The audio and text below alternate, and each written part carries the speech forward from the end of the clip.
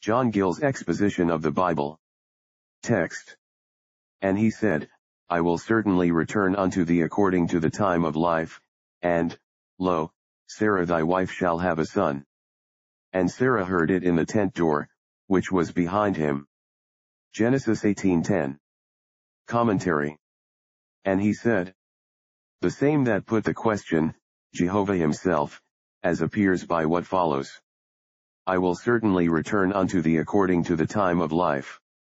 Not by a personal appearance as now, but by the fulfillment of his promise which he had before given to Abraham, that he should have a son by Sarah, and now renews it, and this would be about the same time in the next year, perhaps at the spring of the year, which may be called a time of life, when all things revive, which in the winter season seem to be dead, a fit emblem this of the case and condition of Abraham and Sarah, both as they now were, and afterwards would be, for, though their bodies were as it were dead and unfit for generation, yet nature would revive in them again unless it be understood of the whole time of the conception, quickening, and birth of an infant, at the usual time a woman goes with child, which is nine months, when the infant is a perfect living child.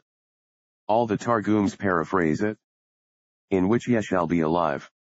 Safe and well, and so most of the Jewish commentators, as if it was a promise to Abraham and Sarah, that they should live to see the promise made good next given, but this seems not so agreeable as either of the former, see 2 Kings 4.16.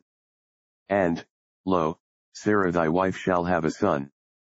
It was by degrees that this was made known to Abraham, first he was told he should have a son, but it was not said by whom he should have it, some years after that he is informed he should have a son by Sarah, but not when, but now it is revealed to him, that he should have one by her the next year.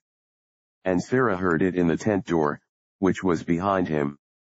Or, and it was behind him, that is, the tent door was at the back of the person speaking, Sarah, hearing her name mentioned, got to the tent door to listen to what might be further said, and the place where she was, was behind the speaker, who stood between her and Abraham, with whom he was conversing, Abraham was before high, and Sarah behind him, so that he could not see her when she laughed, and yet he knew she did, and for the sake of that, this circumstance is remarked both the Targums of Jonathan and Jerusalem paraphrase the clause. And Ishmael stood behind it. The tent door, and the former adds, and hearken to what the angel said.